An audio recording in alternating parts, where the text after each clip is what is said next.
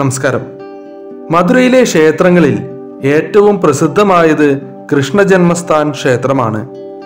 കൃഷ്ണനെ കുറിച്ച് ഓർക്കുമ്പോൾ തന്നെ ആരുടെ ചുണ്ടിലും ഒരു ചെറു ചിരി വിടരും.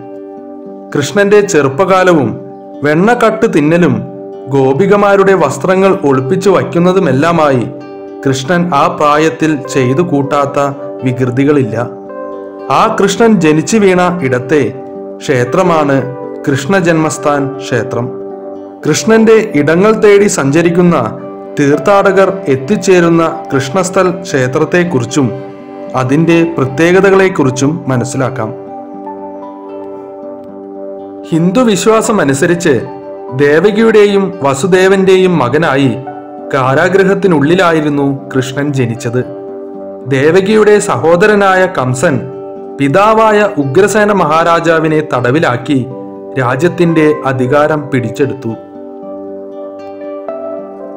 വിവാഹ ഘോഷയാത്രാ സമയത്ത് ദേവകിയുടെ എട്ടാമത്തെ പുത്രൻ തന്നെ കൊല്ലുമെന്ന് അശരീരി കേട്ട കംസൻ ദേവകിയെയും ഭർത്താവ് വസുദേവരെയും തടവിലാക്കുന്നു.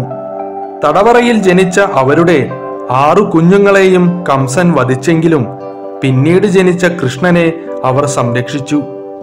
അമ്പാടിയിലുള്ള നന്ദഗോപരുടെയും യശോദയുടെയും അടുത്തു നിന്നാണ് കൃഷ്ണൻ വളർന്നത്. അന്ന് കൃഷ്ണൻ ജനിച്ച തടവറയ്ക്ക് ചുറ്റിലുമായാണ് കൃഷ്ണജന്മസ്ഥാൻ ക്ഷേത്രം പണി കഴിപ്പിച്ചിരിക്കുന്നത്. ഐതിഹ്യങ്ങൾ അനുസരിച്ച് കൃഷ്ണന്റെ കൊച്ചുമകനായ വജ്രനാഭാണ് ക്ഷേത്രം നിർമ്മിച്ചത്. നേരത്തെ ഈ ക്ഷേത്രം നിലനിന്നിരുന്ന ഇടം കത്ര കേശവദേവ എന്നായിരുന്നു അറിയപ്പെട്ടിരുന്നത്. ആയിരത്തി എണ്ണൂറ്റി നാലിൽ മധുര ബ്രിട്ടീഷ് നിയന്ത്രണത്തിലായി. ഈസ്റ്റ് ഇന്ത്യ കമ്പനി ഖത്രയുടെ ഭൂമി ലേലം ചെയ്തപ്പോൾ അത് വാങ്ങിയത് ബനാറസിലെ സമ്പന്നനായിരുന്ന രാജ് പട്നിമലാണ് രാജ് പട്നിമൽ ക്ഷേത്രം പണിയാൻ ആഗ്രഹിച്ചെങ്കിലും അതിന് കഴിഞ്ഞില്ല. അദ്ദേഹത്തിന്റെ പിൻഗാമികൾക്ക് ഖത്രാദേശം അവകാശമായി ലഭിച്ചു.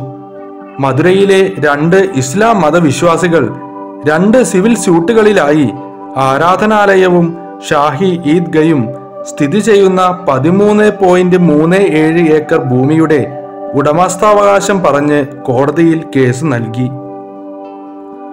എന്നാൽ അലഹബാദ് ഹൈക്കോടതി രാജ്ദാസിന് അനുകൂലമായി വിധി പ്രസ്താവിച്ചു. യഥാർത്ഥ ക്ഷേത്രത്തിലെ സഭാമണ്ഡലത്തിൽ ഗർഭഗൃഹ ദേവാലയം അഥവാ ശ്രീകോവിൽ അവശേഷിക്കുന്നുവെന്നും പറയപ്പെടുന്നു. കൃഷ്ണൻ ജനിച്ച കാരാഗൃഹം ഇവിടെയാണുള്ളത്.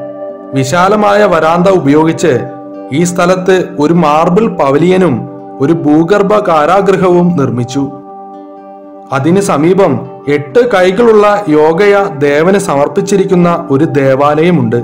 ഷാഹി ഈദ്ഗയുടെ പിൻഭിത്തിക്കെതിരായിട്ടാണ് ഇത് സ്ഥിതി ചെയ്യുന്നത്.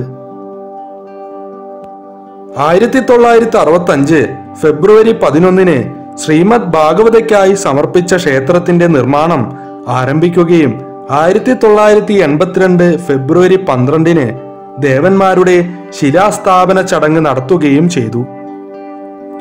ഇതിൽ അഞ്ച് ആരാധനാലയങ്ങൾ ഉൾപ്പെടുന്നു. ചെമ്പ് ഫലകങ്ങളിൽ കൊത്തിവച്ചിരിക്കുന്ന ഭഗവത്ഗീതയുടെ പാഠം പ്രധാന ക്ഷേത്രത്തിലെ ചുവരുകൾ അലങ്കരിക്കുന്നു. പവിത്രക്കുണ്ട് ജന്മസ്ഥാൻ ക്ഷേത്രത്തിന്റെ തെക്ക് കിഴക്ക് ഭാഗത്ത് പവിത്രക്കുണ്ട് എന്ന വലിയതും ആഴത്തിലുള്ളതുമായ ഒരു ജലസംഭരണിയുണ്ട്. ഇത് കൃഷ്ണൻ ജനിച്ചതിന് ശേഷം കൃഷ്ണന്റെ ആദ്യത്തെ കുളിക്കായി ഉപയോഗിച്ചുവെന്ന് പറയപ്പെടുന്നു.